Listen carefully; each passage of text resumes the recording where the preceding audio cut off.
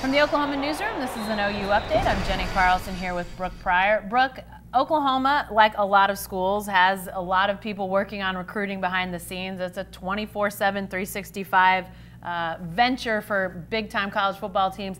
But OU has a new face for that, uh, for that job. It's Annie Hanson. Tell us a little bit about her. I mean, I, I think a lot of people might be surprised that mm-hmm. a woman's in this job, but she's not the only woman doing this either. Exactly. There was actually a story done over the summer about Annie Hanson, and she was well, she was really included in this SB Nation story about all these different women that work in recruiting. At that point, she was working at UNC, uh, University of North Carolina and working in their office. She started out in recruiting and then she moved to be an assistant AD and was kind of helping strategic communications between all of uh, UNC's varsity sports. She's an OU alum, which is how she ended up back here. She actually she was a track and field athlete and then went to grad school at OU to kind of end up working in athletic administration. Um, and so when this position opened up, it's OU's executive director of recruiting, kind of a, a, hybrid position that Lincoln Riley created. She was one of their first calls as an alum, as someone who worked in the, who went to grad school at OU, worked in development before she ended up going, I think, Kansas State. She kind of bounced around all over the place before her longest tenure before OU was at UNC.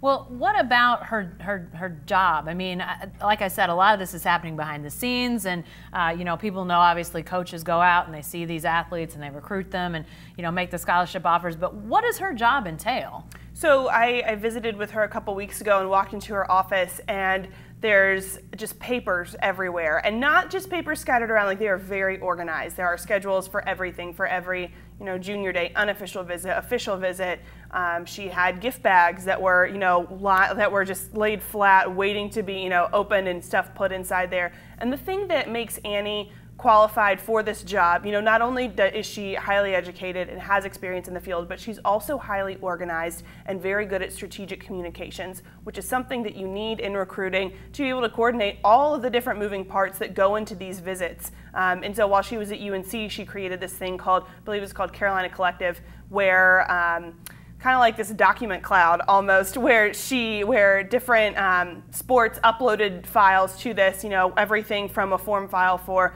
an official visit or an offer letter or anything like that and kind of helped just sync that up across the sport so she's bringing that kind of level of strategic communications to OU yeah and you mentioned her OU ties an alum a former athlete but she's even got a deeper connection, right? With, uh, I guess, maybe her, her landlord while she's getting adjusted to life back in Norman? Yeah, landlord's a good word for it. Also, good family friends uh, with Barry and Becky Switzer. She actually met them while she was a grad student at OU. Um, the Switzers needed someone to run their five German Shepherds. They were put in contact with Annie from someone in the athletic department said, hey, there's this girl, she used to run uh, at OU. She's back in grad school. She still likes to exercise. She would be perfect. So, you know, Annie went over and met the Switzers. They clicked instantly, and that was you know, back I believe in like 2012 or so, 2011.